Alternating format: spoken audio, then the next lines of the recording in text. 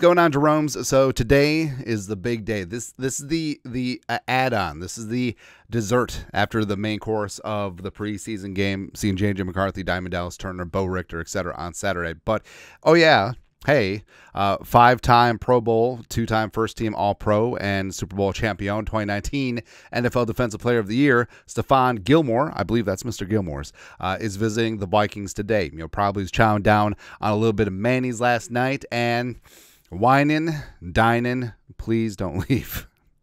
That's basically what it is. And re- respect to Kwesi, like Kwesi has been the closer this year, pulling off trades, getting his guys in the draft, inking up Jefferson and, and Darrisaw long term. Uh, but Kwesi, he, basically, he needs to make sure that Stephon Gilmore does not get on a plane today. Right. So basically, he has to sign a contract and just like keep him in the sphere. And there, there's a couple reasons why. Number one, yes, it's preseason. Yes, as we've said, the secondary is going to look a lot better when once Flores is allowed to be Brian Flores and blitz the living bejesus and dial up exotic blitzes uh, on some of these quarterbacks. And respect to the Raiders, they came to play. But allowing Aidan frickin' O'Connell and Gardner Minshew to just feast, absolute feast on the Vikings in the secondary was was not was not good, was not good at all. And you know the whole thing about it is too is like Byron Murphy the Byron Murphy Jr. is our guy, very solid, like him a lot. So he played 14 defensive snaps, 13 were out at outside corner, only one Un was in the slot. Now, some of that is personnel personnel dependent, but also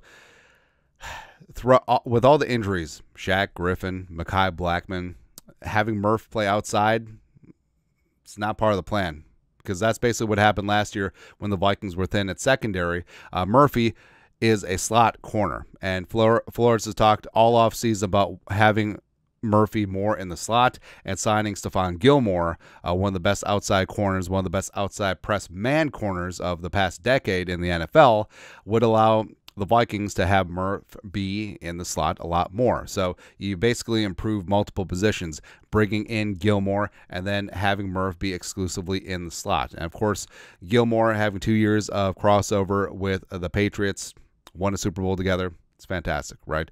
Uh, and, and Gilmore, hey, again, I fully understand. Like, hey, if you think that Stephon Gilmore is going to walk in here and be vintage 28, 29 year old defensive player of the year, Stephon Gilmore, all pro, Pro Bowl. Ain't going to happen.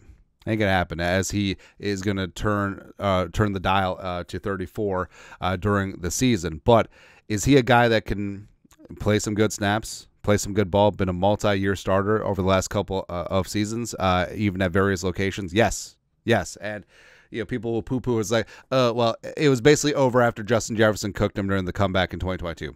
Again, I, I get it, but also Gilmore last year for the Cowboys, and the Cowboys were dinged up in the secondary. Started all 18 games, uh, 17 regular season plus the one playoff game. Uh, 1,055 snaps played, 73 tackles, a forced fumble, 90.4 quarterback rating when thrown at, which, in the grand scheme of things, given everything that was involved, that's not bad.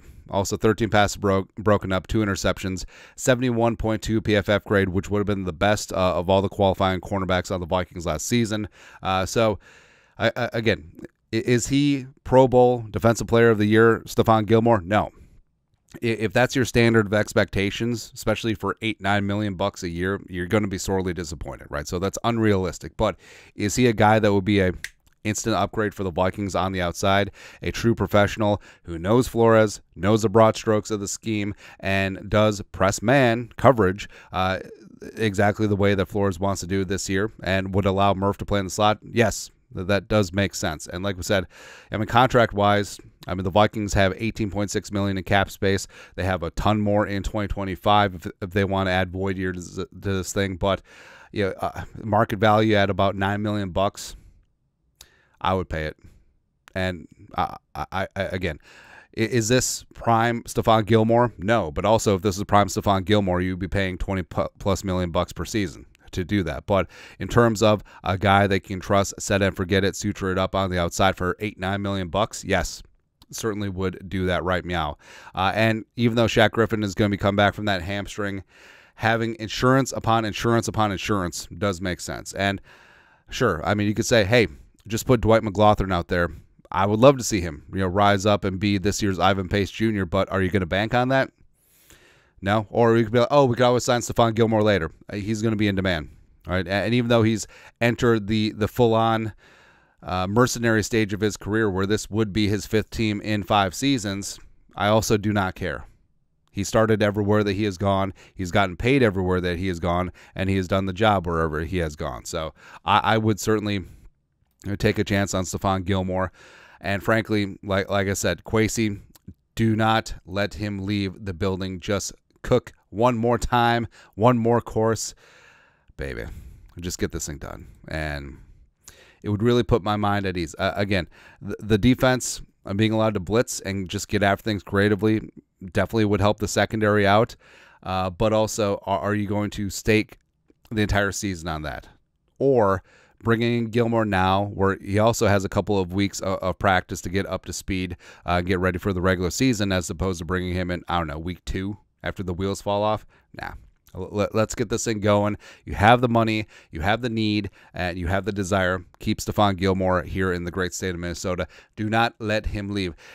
Have this be the Hotel California. Once you check in at TCO Performance Center Bar and Grill, you can never leave. I've had a poopy day and I hate the Eagles, man. Anyways, uh, but your thoughts are thoughts. Stephon Gilmore, Mr. Gilmore, visits here today. Please stay. Uh, let us know your thoughts, our thoughts, comment section. You guys are the best. You know what to do. Skol production value.